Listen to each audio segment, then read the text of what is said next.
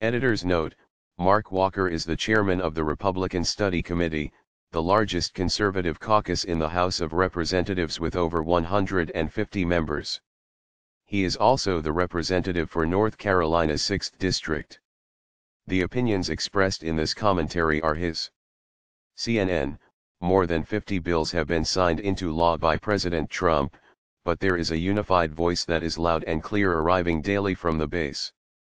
Get something done is the deafening roar. It's not that nothing has been done on the Hill. However, the American people are not enthralled with what we've accomplished so far. To this point, we've come up short and our voters have every right to demand not just the goals but the strategy and the action steps to fulfill these past promises. We can parse the meaning of the 2016 election all we want, but one thing is clear, it was a mandate election. Republicans need to remember the corollary to any mandate, if you do not deliver, voters will find others who will. I know that this message was clear to my colleagues during the August district work period.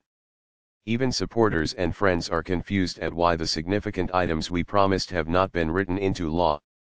I am confident that the American people will deliver their final grade on Republicans over the next three months based on three things, repealing and replacing Obamacare, passing tax reform, and increasing border security. If Republicans cannot achieve results on these endeavors, do we deserve our majorities in both houses? The group which I lead, the Republican Study Committee, is renewing these promises to the American people. We are calling on all Republicans in Congress and the White House to do the same. We must deliver before the calendar reads 2018. Repeal Obamacare. Obamacare should be the easiest of the three. After all, the House of Representatives voted more than 50 times to repeal the law that destroyed our health insurance markets through skyrocketing premiums and fewer options. If we cannot deliver anything on Obamacare, Republicans are guilty of false promises and political malpractice. To be fair, the House already did our job in passing the American Health Care Act this year. We must continue to push for repeal, including dismantling the most damaging aspects of the law like the individual mandate, employer mandate, medical device tax, and the provision that gives employers an incentive to use part-time workers rather than hire full-timers. We should also pass common sense replacement policies, like expanding how much money employees can contribute to their health savings accounts, HSAs, and selling insurance across state lines, which would increase competition. We have just a few days before Mitch McConnell's September 30 deadline to enact health care changes with a 51 rather than 60 vote majority in the Senate and the Graham-Cassidy bill is in trouble, but regardless of whether Congress can come to a solution in that time, we cannot turn our backs on our promise to the American people. Fixing Obamacare is not an option. We cannot pass any type of stabilization package that only cements this horrific legislation further. Obamacare repeal and replace is not merely a political goal.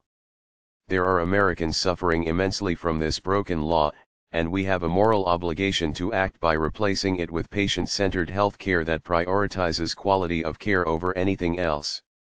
Tax reform is a must.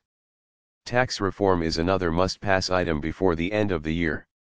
After years of stagnant growth due to ever-expanding government and regulations during the Obama years, our economy needs a jump start, and tax reform is the solution. Tax reform needs to be pro-growth, comprehensive, and permanent. We need our tax code to let Americans keep more of their paycheck and give companies an advantage compared to their overseas competitors. We need to show the world once again that America is a place where businesses can thrive. Border security. In a time of increased threats to our national security by those that will do us harm, President Trump ran on a simple idea, border security. Securing our southern border is a must-do for Congress we cannot idly sit by while our nation's laws are flagrantly ignored, allowing potentially dangerous individuals to enter the United States with zero repercussions. Democrats try time and time again to have an immigration fix now and secure the border later. We cannot fall into this trap again. We need a real fix to our immigration challenge, not a band-aid that exacerbates the problem. While Republicans need to channel our legislative efforts into a long-term solution focusing on border security first, keeping America secure does not end at our borders. Republican solutions must include strong immigration enforcement mechanisms, including e-verify, entry-exit tracking, and cracking down on sanctuary cities. This three-pronged mandate does seem more daunting at this point, but Republicans are only in this situation because Congress did not do its job the first nine months.